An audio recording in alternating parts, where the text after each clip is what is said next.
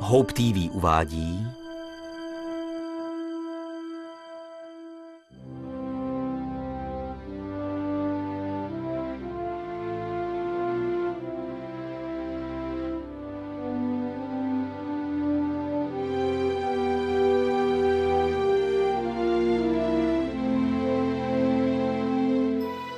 Svět Bible.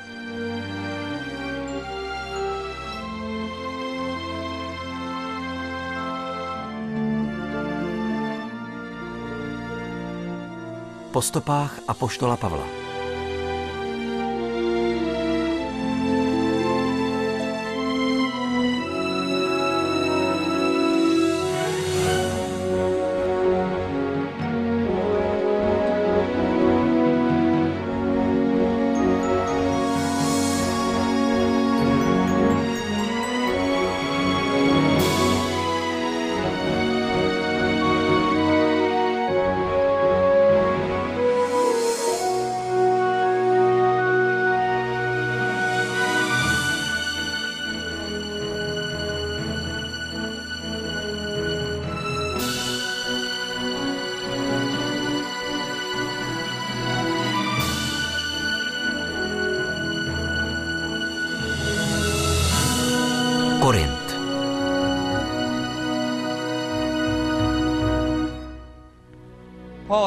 V Aténách měl Pavel pouze částečný úspěch. Svědčil o Ježíši židům v synagoze, filozofům na tržišti a byl pozván před Areopag, nejvyšší aténský soud, schromáždění třiceti nejváženějších mužů města. Mluvil před nimi o své víře v jediného Boha a o vzkříšení Ježíše z mrtvých. Podle skutků 17. kapitoly neměl velký úspěch, ale evangelium přesto proniklo i do nejvyšších aténských kruhů. Dionysios uvěřil v Ježíše a stal se křesťanem, stejně jako žena jménem Damaris. Lukáš popisuje ve skutcích 18. kapitole, jak Pavel opustil Atény a vydal se do Korintu. Toto je starověký přístav Kenchreje. Do něj Pavel připlul na lodi z Aten. Z někdejšího přístavního města toho moc nezbylo. Většina města je dnes pod hladinou. Návštěvníkům se zde nabízí jen pár trosek, včetně několika nádherných mramorových sloupů a kusů mramoru, pozůstatků nějaké veřejné budovy nebo chrámu. Přístav je možno vidět zde stranou ve tvaru podkovy, poskytující lodím v Pavlově době bezpečné kotviště. Když Pavel vystoupil z lodě, aby pokračoval ještě asi 10 kilometrů pěšky do města Korintu, nepochybně upoutal jeho pohled masiv Akrokorintu, vyčnívající nějakých 600 metrů nad okolní planinu. Příkré přírodní stěny této hory ze tří stran na vrcholu doplněné umělým opevněním z ní vytvořili prakticky nedobytnou pevnost a pramen horní pejrené uvnitř hradeb poskytoval stálý zdroj vody i v dobách obležení. Bylo to prostě ideální místo pro založení města. Dole na úpatí mohlo být vybudováno moderní občanské město a nahoře bezpečné útočiště pro případ obležení. Akrokorint dominoval okolní krajině a byl viditelný ze vzdálenosti mnoha kilometrů. Korint byl pro Řím důležitý kvůli své jedinečné zeměpisné poloze. Střežil totiž úzkou šíji spojující Peloponéský poloostrov na jihu a pevninské Řecko na severu. Tato šíje byla pouze 6 kilometrů široká, ale oddělovala Egejské od Jaderského moře. Korint byl známý jako město dvou přístavů. Na severu to byl přístav Lechajon a na východě přístav Kenchreje. Přístav Lechajon ležel v Korinském zálivu Jaderského moře. Východní přístav Kenchreje byl součástí moře Egejského. Ve starověku se mořeplavci obávali plout kolem jižního mysu Peloponéského poloostrova. Často tam řádily silné bouře Byla to trasa příliš nebezpečná. Pro lodě připlouvající z východu byl proto zaveden speciální systém. Loď zakotvila v Kenchrejském přístavu, zboží zde bylo vyloženo a po souši přepraveno přes Korinskou šíji do Lechajonu, kde bylo zase naloženo na loď plující dál na západ. A jestliže jste se plavili ze západu, postup byl opačný. Zboží se vyložilo v Lechajonu a po zemi přepravilo do přístavu v Kenchreji. Tento diolkos, neboli dlážděný sklus, byl postaven ve starověku pro suchozemskou přepravu z jednoho přístavu do druhého. Jestliže šlo o menší loď, byla po tomto skluzu přepravena také. Korinská šíje představovala opravdu překážku na dopravní cestě. Alexandr Veliký, Julius Caesar, Caligula, ti všichni se zabývali myšlenkou prokopat v šíji průplav, aby se nemusel obeplouvat Peloponésos ani přenášet náklad po souši. Neronovi inženýři dokonce zahájili výkopové práce na průplavu, ale trvalo to až do 19. století, než mohl být průplav dokončen. Proplouvat jí však mohou jen menší lodě, protože je široký pouze 25 metrů. Je to však ohromná podívaná pozorovat lodě plující průplavem.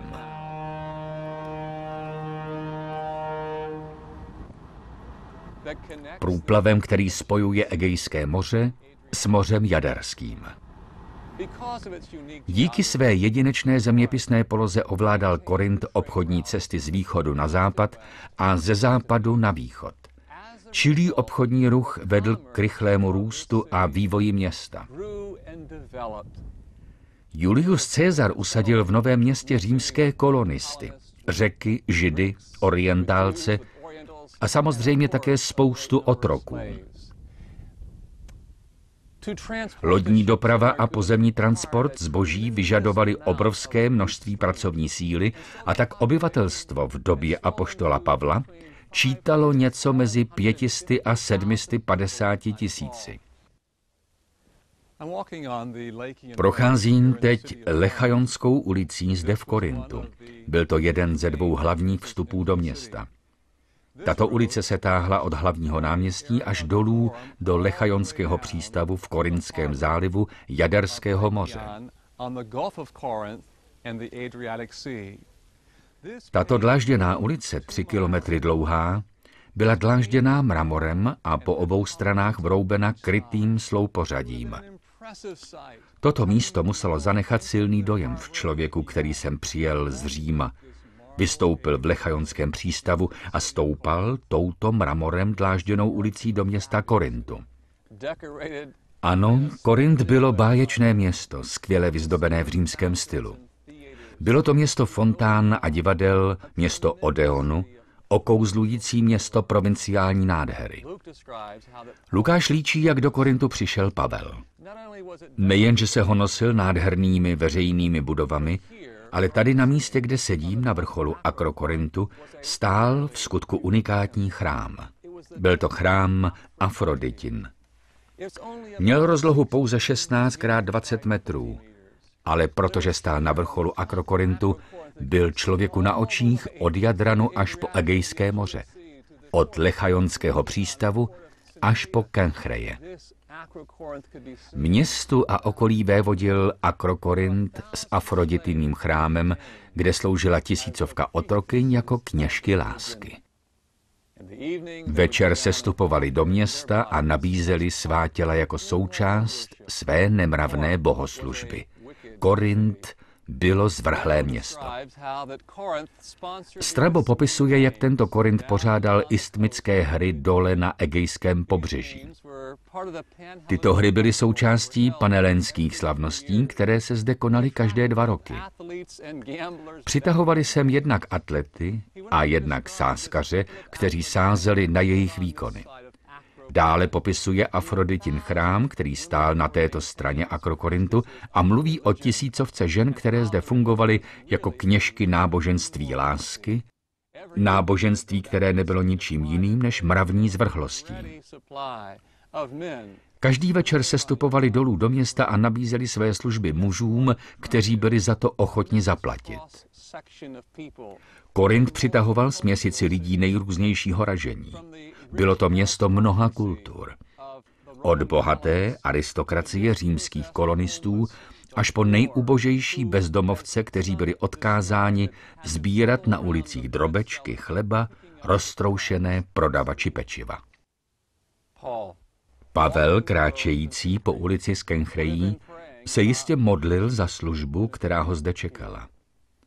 Byl sám, Timoteus a Silas byli ještě v Makedonii a dosud se k němu nepřipojili. Procházel před městím známým jako Kránium. A jak tudy procházel, nemohl si nevzpomenout na Golgotu, na ten jeruzalémský pahorek, kde byl ukřižován Ježíš, na pahorek nazývaný Lepka. A když vstupoval do městských ulic Kenchrejskou bránou, rozhodl se, jak říká, neznat mezi Korintiany nic jiného než Ježíše a to ukřižovaného. Pavel přišel do tohoto města zasadit evangelium a ono zde zapustilo kořeny. Pavel zde stráví 18 měsíců, jedno z nejdelších období své služby na různých místech. 18 měsíců. To zanechá na zdejších lidech stopy. Jejich životy se změní. Navštíví to město při třech různých příležitostech a napíše sem nejméně dva dopisy. Přečtěme si o té jeho ohromné službě ve skutcích 18. kapitole od prvního verše. Potom odešel Pavel z Atén a přišel do Korintu. Tam se setkal s jedním židem, který se jmenoval Aquila a pocházel z Pontu. Nedávno přišel se svou manželkou Priscilou z Itálie, protože císař Claudius vydal rozkaz, aby všichni židé opustili Řím. Pavel se s nimi zblížil, zůstal u nich a pracoval s nimi, poněvadž měli stejné řemeslo, dělali stany. Každou sobotu mluvil v synagoze a snažil se získat židy i pohany. Skutky 18, 1 až 4. Největší židovská pospolitost v Řecku byla zde v Korintu. Odhaduje se, že v této metropoli žilo nejméně 20 tisíc židů. Jejich přítomnost zde dokazuje mnoho vykopávek.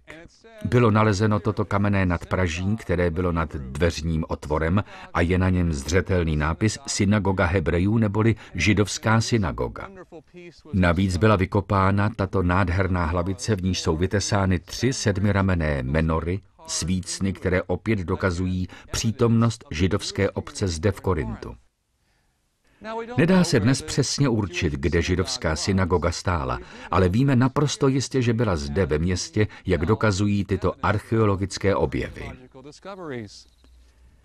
Pavel se zde setkal s Aquilou a Priscilou, židovským manželským párem z Pontu, který byl vyhnán z Říma a přestěhoval se sem do Korintu.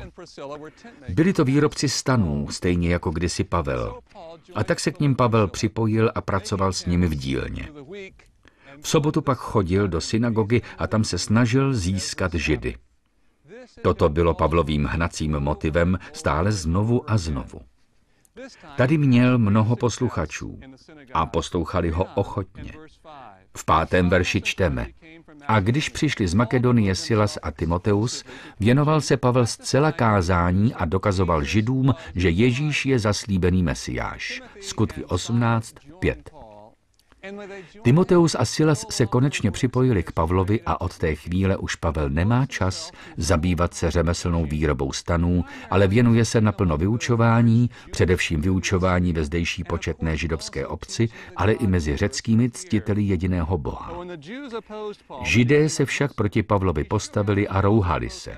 Proto se třásl prach ze svého roucha a řekl, vy sami jste odpovědní za svou záhubu. Já jsem vůči vám bez viny a od této chvíle se obrátím k pohanům. Skutky 18, 6. Stejně jako předtím v Tesalonice, Beroji, Ikoniu a Derbe, i tady se opakuje stejná situace. Mezi Židy vzniká opozice proti Pavlovu učení. Pavel učí, že Ježíš Nazarecký je mesiášem, tím mesiášem, kterého předpovídali bibličtí proroci. Odpor proti Pavlovi roste. Najednou už není vítaným hostem v synagoze a tak si ostentativně vypráší šaty a říká, sami jste si vyni svou záhubou. Já jsem vám svoje vyřídil a vy jste to odmítli. Tím s vámi končím a odcházím k pohanům. Odešel ze synagogy a působil v sousedním domě Tita Justa, pohana, který uvěřil v hospodina. Představený synagogy Crispus a všichni, kteří byli v jeho domě, uvěřili pánu. Také mnozí z Korintianů, kteří Pavla poslouchali, uvěřili a dali se pokřtít. Skutky 18, 7 až 8. Jak úžasný příběh. Pavel se přestěhuje do sousedního domu vedle synagogy k jednomu věřícímu jménem Titus Justus.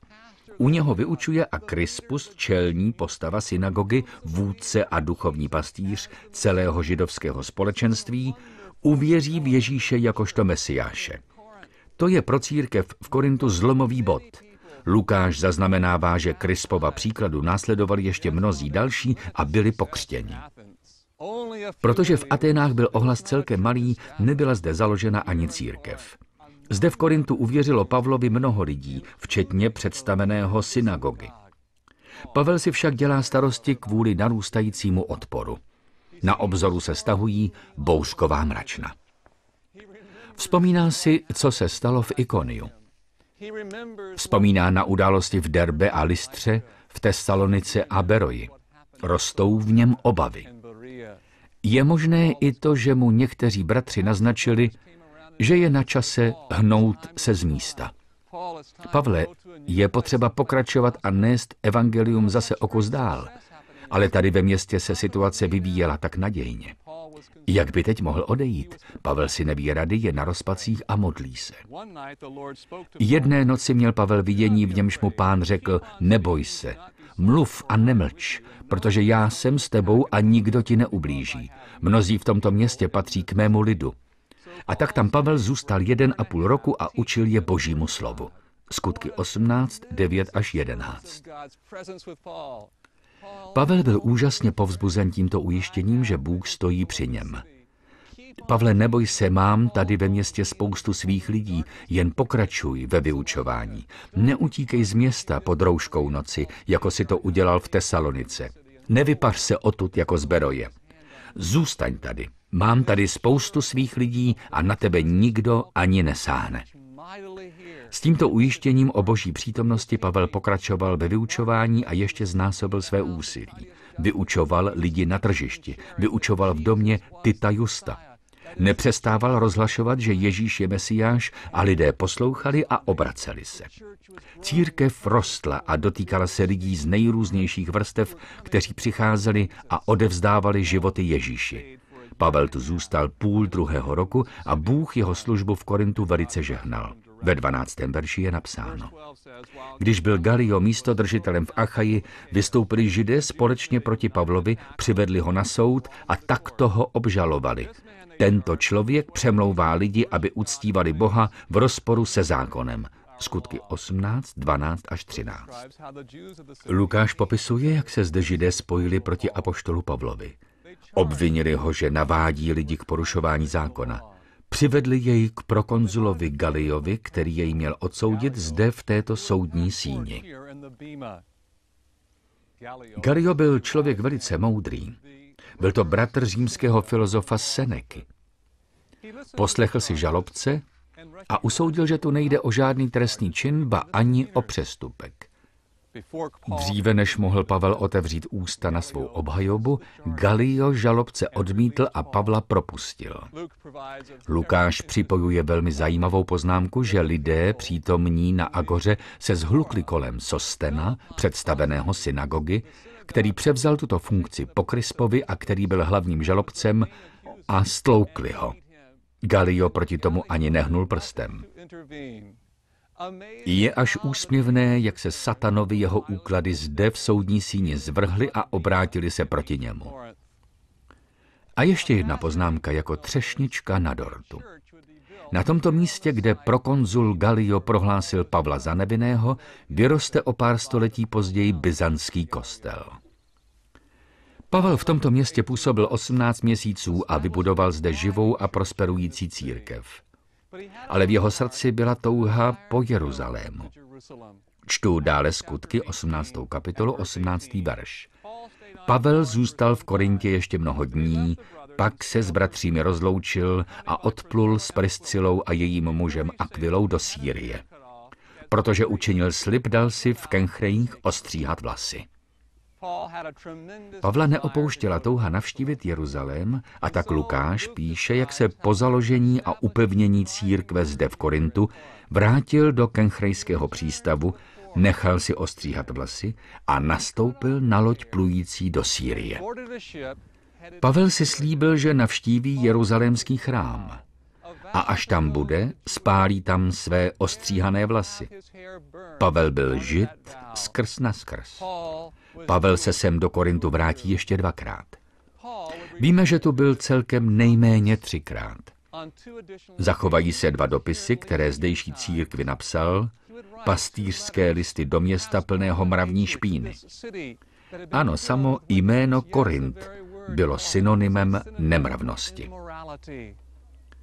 A přesto světlo Evangelia proniklo i do duchovní temnoty tohoto přístavního města. Všimněte si, co píše v první korinským šesté kapitole. Což nevíte, že nespravedliví nebudou mít účast v božím království? Nemilte se, ani smilníci, modláři, cizoložníci, ani nemravní, zvrácení, zloději, lakomci, opilci, utrhači, lupiči nebudou mít účast v božím království. A to jste někteří byli. Dali jste se však obmít, byli jste posvěceni, byli jste ospravedlněni ve jménu Pána Ježíše Krista a duchem našeho Boha. Potom, co Pavel vypočítal všechny korinské hříchy, připojuje tu nádhernou poznámku ve verši 11. A to jste někteří byli. A to jste někteří byli. Ano, žili jste v temnotě. Zapletli jste se do nemravnosti. Pavel píše svůj dopis plný pastýřského zájmu o církev, která zápasí s nejrůznějšími problémy v tomto obrovském pohanském městě. Ale pak říká, takový jste někteří byli. Dali jste se však obmít. Byli jste posvěceni, byli jste ospravedlněni ve jménu Pána Ježíše Krista a duchem našeho Boha. 1. Korinským 6.11. Jak úžasné svědectví o církvi v tomto městě. Ano, jejich minulost byla často všelijaká špinavá a nemravná. Námořníci, sedláci, přístavní dělníci, veřejní zřízenci. Světlo proniklo do temnot tohoto města a vy jste k ním někteří patřili. Ale vy jste byli vyjmuti, vykoupeni krví beránka. Pavel se z toho raduje, když jim potom později píše z Efezu a ujišťuje je boží láskou. Stojím tady v divadle starověkého Korintu. Byly zde objeveny dva velmi zajímavé nápisy. Jeden nápis říká pro dívky. Protože ženy kulturně a sociálně situované do divadla nechodily, týká se tento nápis nepochybně dívek, které žily na Akrokorintu, kněžek bohyně Afrodity, které chodili dolů do města a nabízeli zde svá těla stálým obyvatelům i návštěvníkům. Pro dívky, pro chrámové prostitutky. Je tu však ještě jeden nápis, objevený zde na tomto prostranství, který potvrzuje jméno jednoho z členů novozákonní církve zde v Korintu. Tento nápis na kameni v severní části divadelního náměstíčka zní Erastus na paměť svého édilství nechal toto vydláždit na vlastní náklady. Není to úžasné? Erastus. Tady vidíme jednotlivá písmena. Erastus. Zvláštní je na tom to, že v listě Římanům, který Pavel píše církvi v Římě právě z tohoto města, Říká v 16. kapitole 23. verši, že je nechává pozdravovat Erastus, městský pokladník. Muž, který nechal položit toto dláždění, přijal Ježíše jako svého mesiáše a jeho život tím byl proměněn. Evangelium proniklo do všech vrstev, od chrámových prostitutek, bezdomovců a opilců, až po nejvyšší vrstvě římské společnosti, kam patřil Erastus. Změněný, dokonale proměněný mocí Ježíše Krista.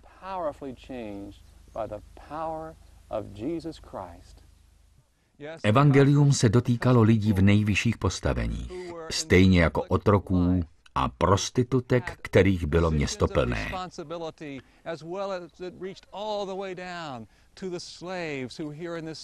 Bylo tu v Korintu jedno zvláštní místo, kde se mohli sejít chudí stejně jako bohatí, otroci stejně jako jejich majitelé, muži jako ženy, kde si všichni byli rovni. Tím místem byla církev. Je to úžasná věc, že mezi všemi těmi lidmi z nejrůznějšího prostředí a nejrůznějšího původu, kteří se sejdou u Ježíše, nikdo nemá před ostatními přednost. Erastus neznamenal o nic víc než kterýkoliv otrok ve městě, který uvěřil v Ježíše. Všichni se cítili jako jedno tělo a sedali společně u jednoho stolu. Nejranější záznamy o slavení Večeře páně máme právě odtud z Korintu. Církev se zde scházela ke společnému stolování, k hodům bratrské lásky. Lidé z nejvyšších kruhů i lidé, kteří byli otroky. Lidé řeckého původu i barbaři. Lidé židovského náboženství i pohané, kteří předtím uctívali modly. Všechny je spojovalo Ježíšovo jméno, Ježíšův nový život. Lidé, kteří žili v blahobytu, i lidé z mravní spodiny. Ti všichni se zde sešli, protože byli umytí krví beránka. Ježíšova krev z nich udělala nové stvoření. Udělala z nich jednu rodinu v Kristu. Církev v Korintu je mohutným svědectvím o boží milosti, sahající i do nejtemnějších hloubek lidské společnosti. Viděli jsme zde nádherné budovy, skvělou architekturu, báječné fontány, Lechajonskou ulici dlážděnou mramorem a vroubenou kolonádami po obou stranách. Byla tu vznešená síň Bema v Apolonově chrámu a přesto to bylo město plné nemravnosti. Ale tito lidé byli dočeni mocí boží milosti, navždy se změnili. Evangelium zde našlo úrodnou půdu a křesťanství se dál rozmáhalo. Pavel zdejší společenství povzbuzoval k víře v Ježíše v jistotě věčného života. Jejich životní dráha dostala zcela nový směr a tvůj život může být zrovna tak radikálně změněn mocí Božího slova. Ježíš poslal Pavlovi slovo povzbuzení, když měl starosti. Neboj se. Stejná slova adresuje dnes Ježíš i vám, ať jste kdekoliv. Neboj se, protože já jsem s tebou. Modleme se spolu, kdekoliv.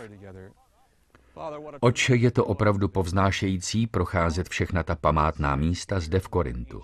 Stoupat na Akrokorint, vzpomínat přitom na apoštola Pavla, který jsem přišel z dalekých Atén, aby jsem přinesl evangelium a zasadil je pevně a hluboko v tomto městě. Děkujeme ti za moc evangelia. Děkujeme ti za posvěcující přítomnost Ducha Svatého. Děkujeme za očišťující moc Ježíšovy krve. Prosíme, abys i nás umil a učinil dokonalými v tobě.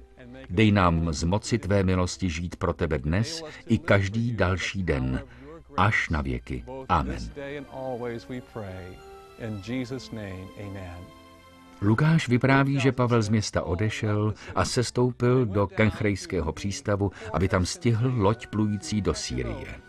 Popisuje, jak se cestou zastavil v Efezu a tam se tedy v příští kapitole našeho seriálu podíváme i my. České znění připravili Jan Wagner, Nikola Votočková a další. Překlad Pavel Mareš. Produkce Pavlína Verešová. Zvuk a režie Vítězslav Randísek. Pro Hope TV vyrobilo AVR Studio SRO v roce 2009.